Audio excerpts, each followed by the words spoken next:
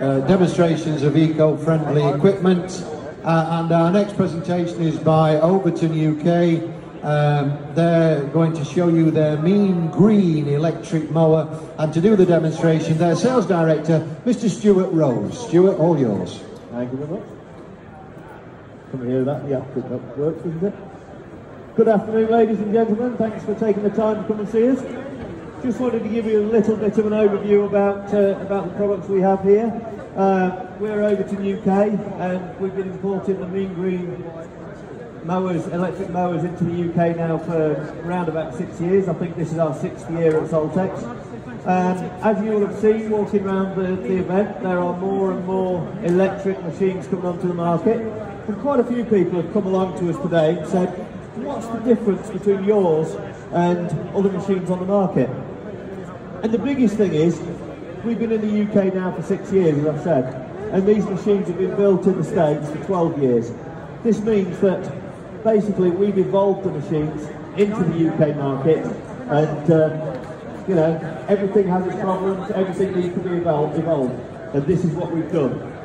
So as you can see, very very versatile zero turn machine, it's nice and quiet, even when you turn the deck on, although you're going to get a little bit of noise, you still actually can talk above the machine, that's a much. And obviously in the grass that's going to be a lot quieter. From a point of view of hand-arm vibrations, the machine will run for, you can run it for about 8 to 4 hours in a straight line before you need to record the vibrations. It's about 1.18 or something around about there. The, the whole body vibrations on this machine, you're looking around about 15 hours usage time, so it's very, very low. Emissions are a massive issue nowadays, and um, there are simply no emissions so the machine will work quite happily. You're not breathing anything in whatsoever, and away you go. Noise levels are below the legal limit, but we always say for uh, risk assessments, it's down to your own. It's your own personal risk assessments whether you use hearing protection or not, but it is below the legal limit. As you can see, the machine is actually all bolted and riveted together rather than rather than welded. And for the, this is the reason for this is that the, the company in the States that builds it um, they're an ex-aircraft engineer. He's an ex-aircraft engineer, and you need. He always says that you need to flex in a plane. There is no welding. Things need to flex, and we use the same technology for this. The current uh, the current battery life for this, actual total hours that it would cut uh, in its lifetime is going to be around about between nine and ten thousand hours.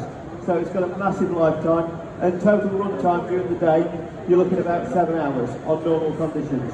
So this will outperform virtually any other mower on the market in the battery technology at this moment in time. As you see, very, very manoeuvrable, very easy to use. It is very responsive. Probably more responsive than most machines, as you would uh, you'd normally get the lag from the from the hydrostats and things like that.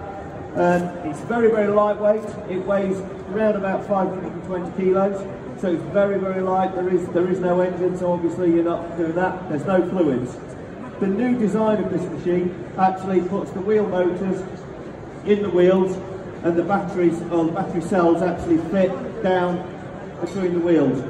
This gives it a much lower centre of gravity as well, so you end up with uh, a slope rating of around about 20 degrees. So it's uh, it's better than you would normally find on, on, any other standard machine at this moment in time, apart from the dedicated bank mowers. Uh, we've got a full lighting kit on this as well, so we can do indicators.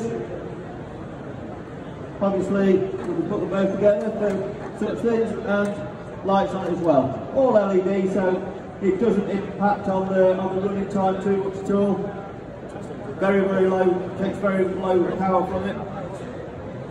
Uh, the deck lift on it as well, you can actually set the deck lift to what height you want it, and then simply raise and lower it, just using the foot pedal. We can also override the machine so that we can set an admin code so we can set the deck so it won't cut below a certain height, which then can't be altered by any operators.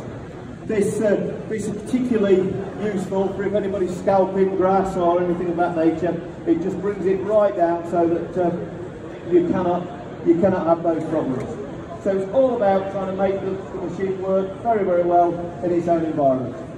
But the proof is always in the pudding, as I say, and if anybody would like to see the machine on their own area, in their own town, their own authority, wherever they are, their own park, then please come and see us, and we are more than happy to bring the machines to you.